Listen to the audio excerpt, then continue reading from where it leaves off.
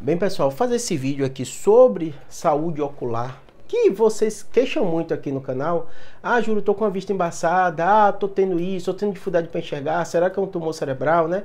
E muitas vezes vocês negligenciam. Por que eu digo que vocês negligenciam? Porque meus pacientes negligenciam no consultório, né?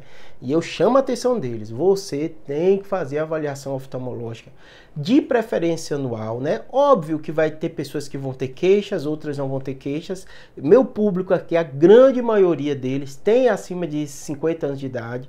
A maioria, né? Quase 50%, tem acima de 60 anos de idade, né? Eu boto 50 porque já vai pegar 70%, né? E a maioria negligencia essa questão. E no oftalmologista, medir a pressão do olho, que é o glaucoma, uma das principais causas de cegueira, a catarata, para vocês terem ideia, no mundo inteiro, isso próprias organizações de oftalmologia colocam, né, que quase metade das causas da cegueira são reversíveis por um procedimento.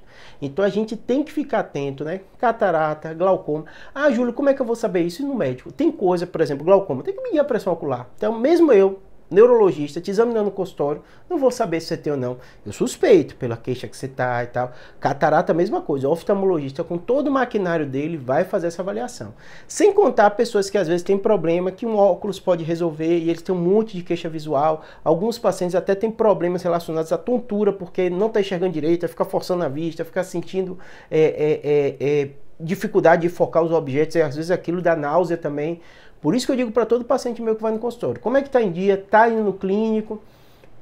É, médico da família, cardiologista, que é para ver a parte geral médica, e pergunto sempre sobre a saúde ocular também.